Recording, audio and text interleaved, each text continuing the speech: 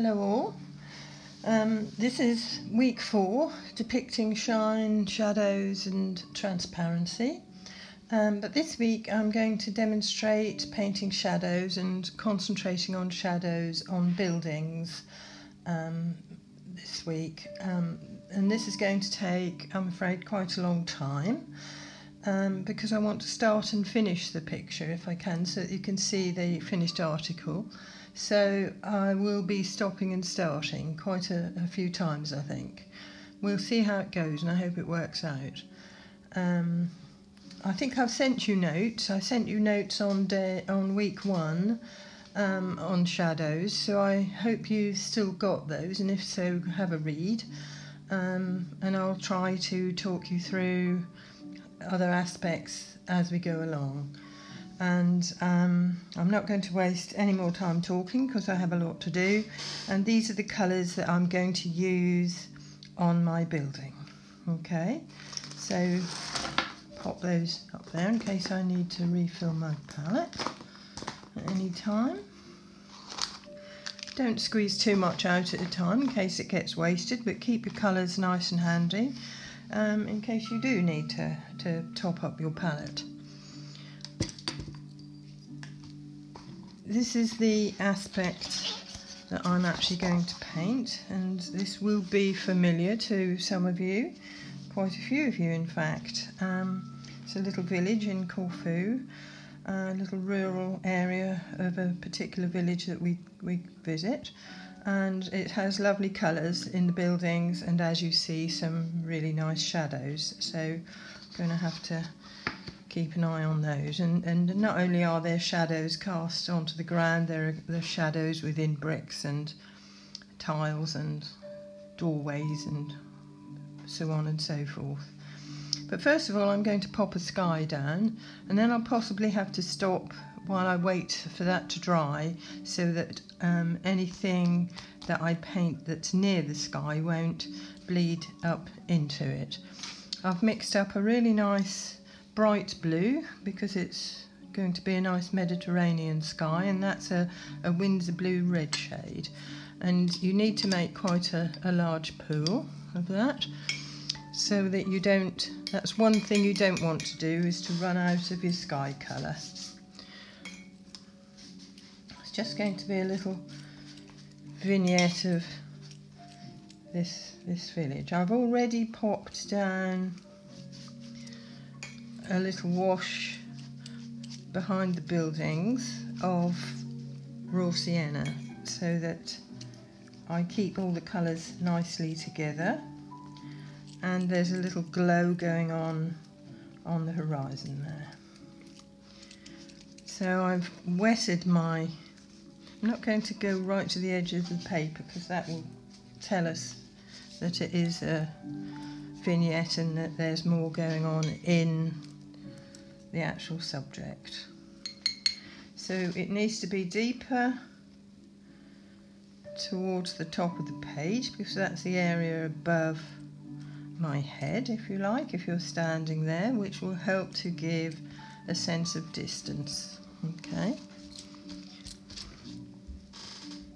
and I've got some poles that are reaching up into the sky which in fact I have painted over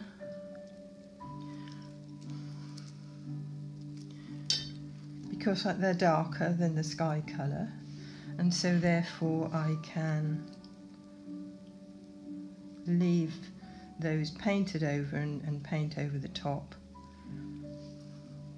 when when the sky is dry.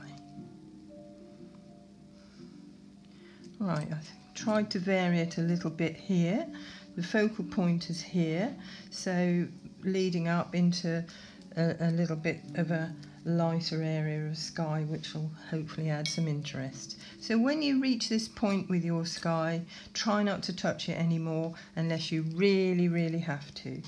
Um, it's dried up with a slightly hard edge there where it's met the dry raw sienna, but I've softened that away.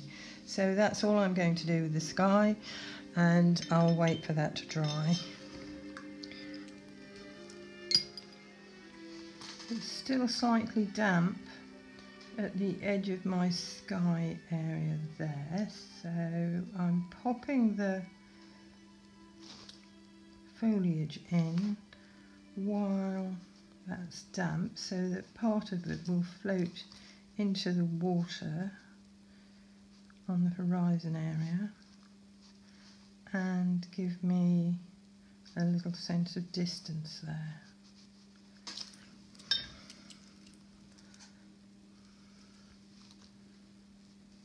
distant foliage has quite a lot of blue in it.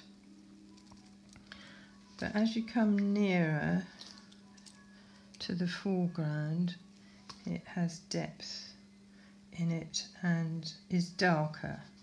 And sometimes that area there is behind the building so it's going to be dark. But it has quite a bit of yellow in it towards the foreground often.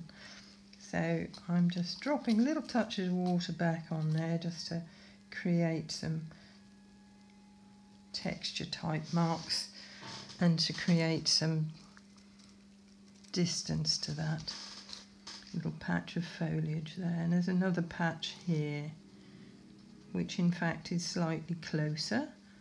So I've made that slightly more yellow. And there's my pole there so I'm just trying to avoid that a little bit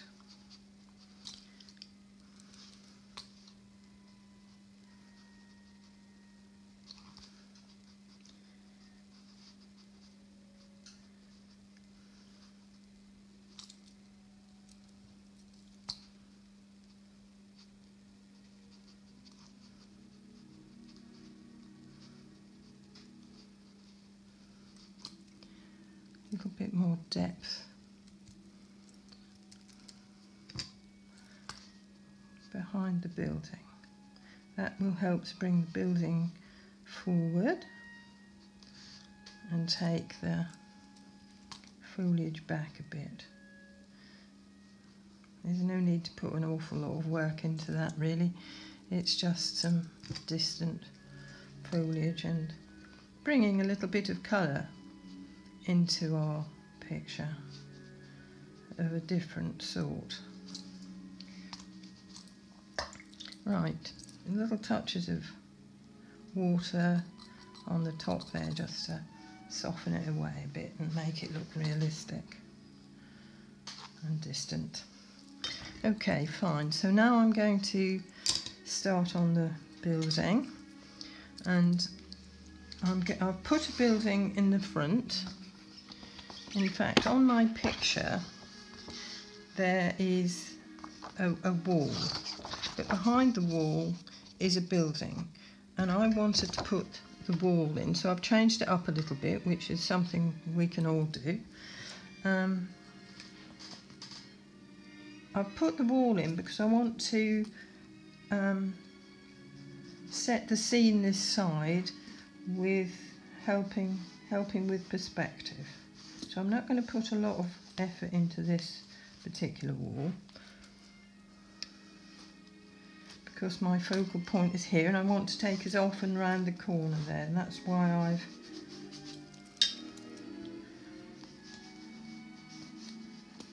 popped that there because it's going to give a, a similar sort of shape and size to, to what's going on this side, which will help with perspective and something we've got to think about all the time. Now, there's some shadow underneath the eaves here. So I'm actually popping that bit of shadow down while that's still damp. And using my flat brush because that's actually going to help me to get nice sharp edges and shapes to my my building here.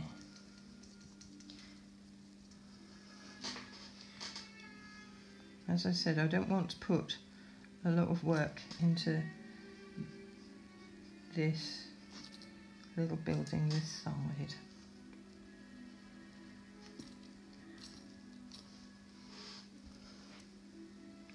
That was sepia.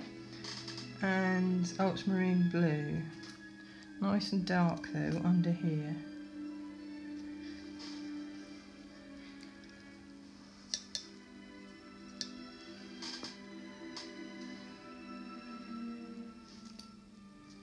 So there's a bit of artistic license going on here with this edge of this building, but I think it's a lovely lead-in to have something like that at the edge.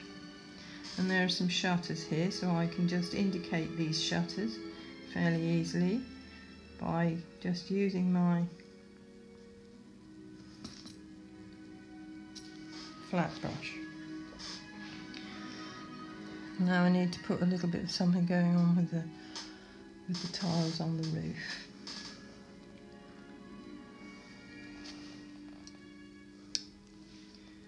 So I'm just popping down the base colour of these tiles and any other markings I can see in them I can put in a, a bit later when it's drier. I won't do very much to that one.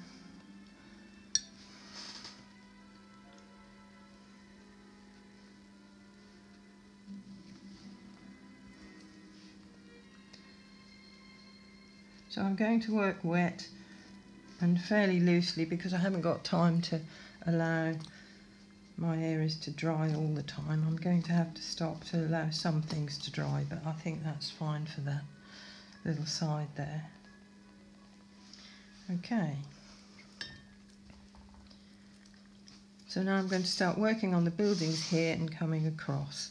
And there's just an old wall here taking us off around the corner. So um, I'll give that a little light wash of raw sienna, keeping it all nice and bright. But then mingling other colours into it. You have to work out which side and where the light's coming from and in fact the light is coming across this way. So this wall part of this wall is going to be light. That's going to be in shadow. This facing wall will be light and it will be light there. But it's going to be quite dark I think going off behind the corner here. So I'm actually just making texture into this wall and I can make brick shapes and stone shapes into that when it becomes a little drier. But at the same time leaving some light.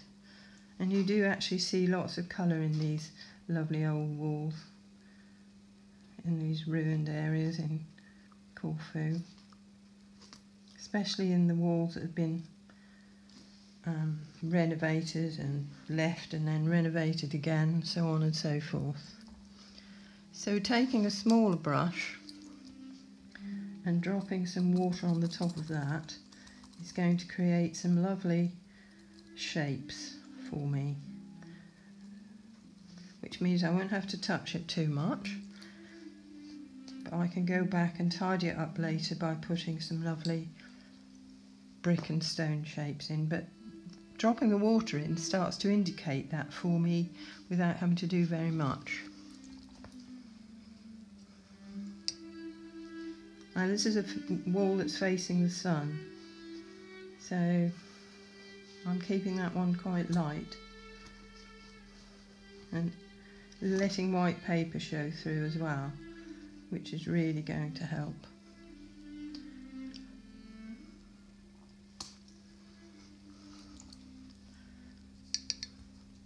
This wall too is facing the light. So if you if you are confused about where the light is coming from or, or you think you may forget where the light is coming from, give yourself a little arrow or something to to help you with remembering where where it's going to be.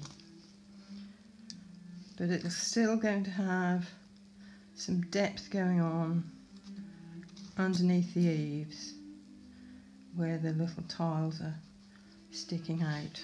Okay, so I've just dropped that in.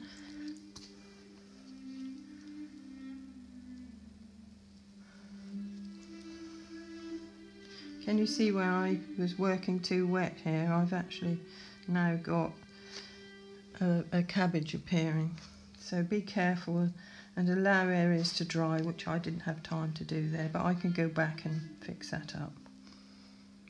Right, so I need a nice terracotta type colour, which I'm making with burnt sienna and a little bit of alizarin.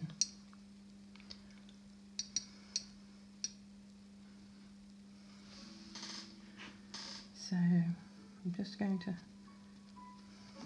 use my flat brush and it's very jagged and very ruined and broken up.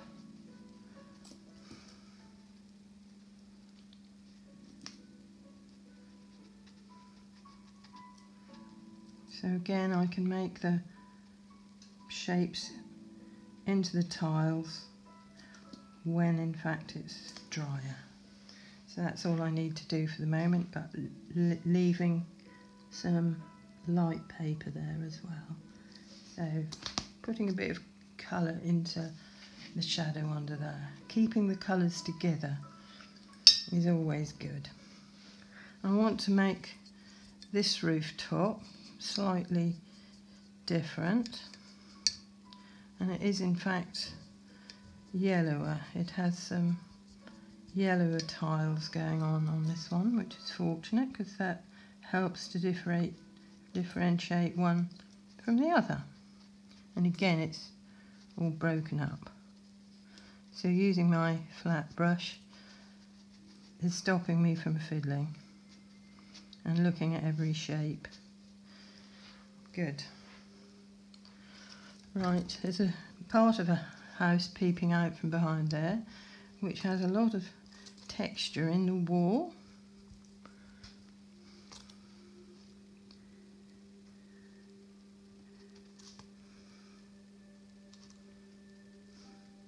So use the, if you're using a flat brush, use the little corner of it, use it as a flat, and use it in a sort of chisel type way. Right.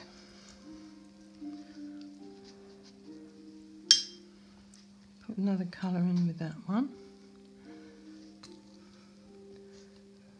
That's like a cement type wall with lots of texture going on in there as well. So dropping that water back on is giving me some nice texture. It's got quite grey tiles in this one. which is good. It's not very significant, so it's going to look distant and go back.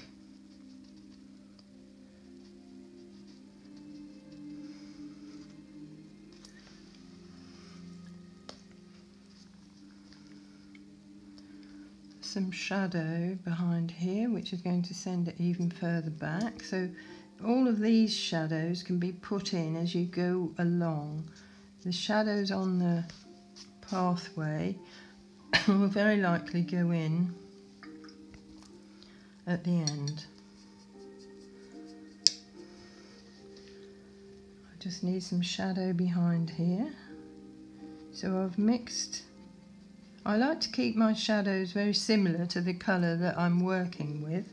So my shadow colours change a lot and they're not all seen as, as grey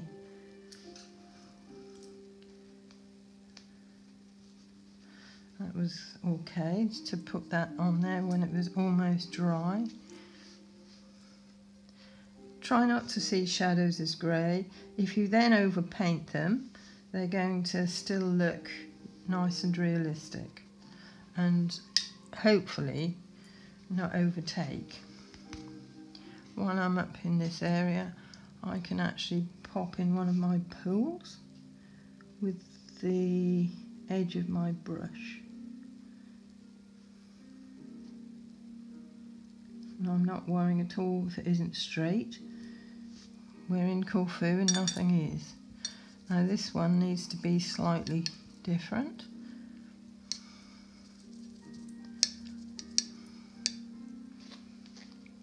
taller. There are wires coming from these, so at some point I may put the wires in. I, I really like putting wires into pictures because I think it gives added interest.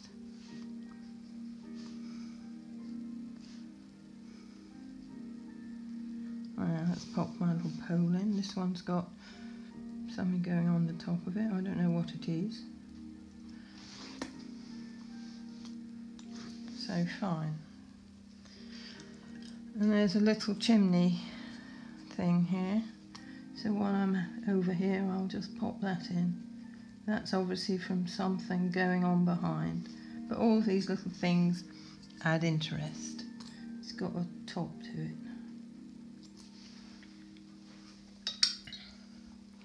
Good.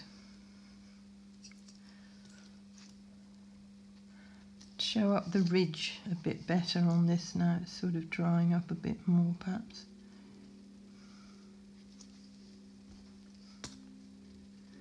So I'm letting the paint go and making a lot of the marks for me, which is going to create lovely texture and things. Right, I can come back down here while that's drying off up there and pop this wall in. It's quite warm, it's got quite a lot of warmth into that one. And of course a lot of shadow because it's going off behind the corner, behind that corner, which helps me to create perspective by putting a lot of shadow in here and under the eaves there.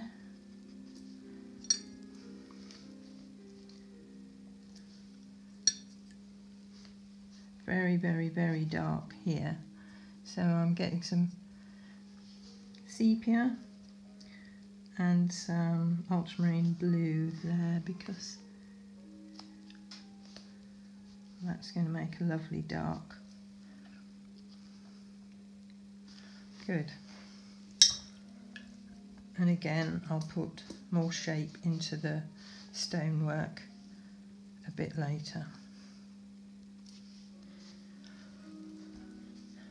This wall is quite light, but it's got a lot of shadow, so that gets confusing. So you never know whether you should keep it light or whether you should put the shadow in.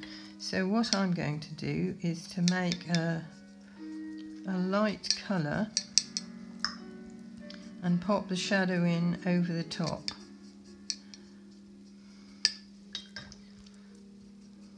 Looks a bit mouldy. So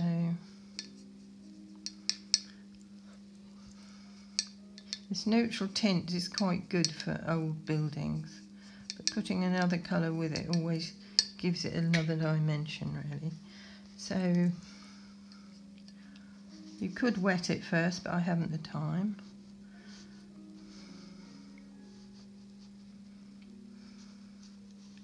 There's an old window there that I'm trying to avoid.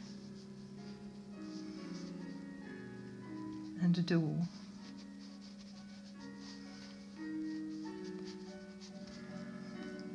So I'm sort of creating shapes as I go with my brush to indicate maybe sort of brick shapes or whatever.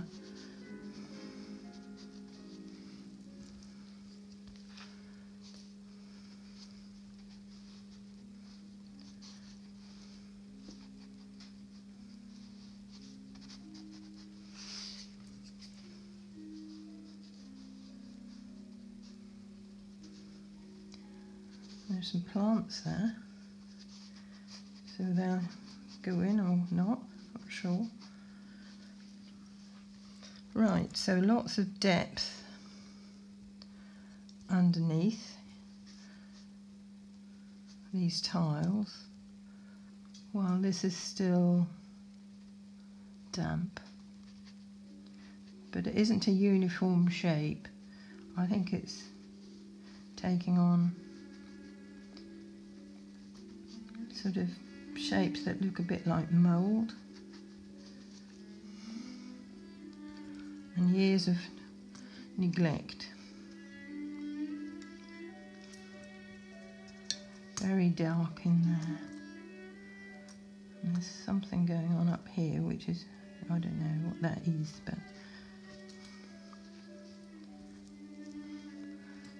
So because it's quite wet I can go very dark here and trying to upset the shape of that straight edge as well. So really dark and going back in this little corner as well, making it really dark. I'm emphasising these shadows because I want you to see the difference it makes if you actually do put these lovely dark shadows in. They really are very, very important in everything, but definitely in buildings. It's the darks that give these old buildings characters, really. Character, really. There's some shadow making strange marks coming down the wall, which you can put in a bit later when, in fact, it's drier and they won't float away. Right. This depth is coming down the wall. The wall isn't straight.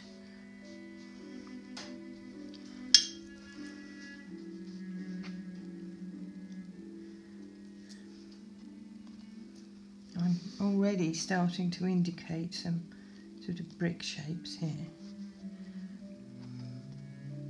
with the edge of my brush. These were bricks at one point and just that one stonework, but these look like bricks to me. So I'm just putting the odd brick shape in here and there while it's still damp and going to soften in the in the wall colour.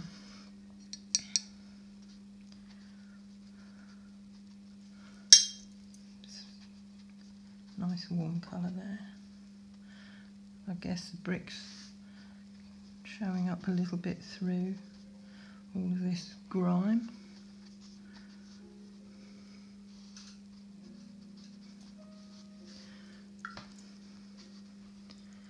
Okay.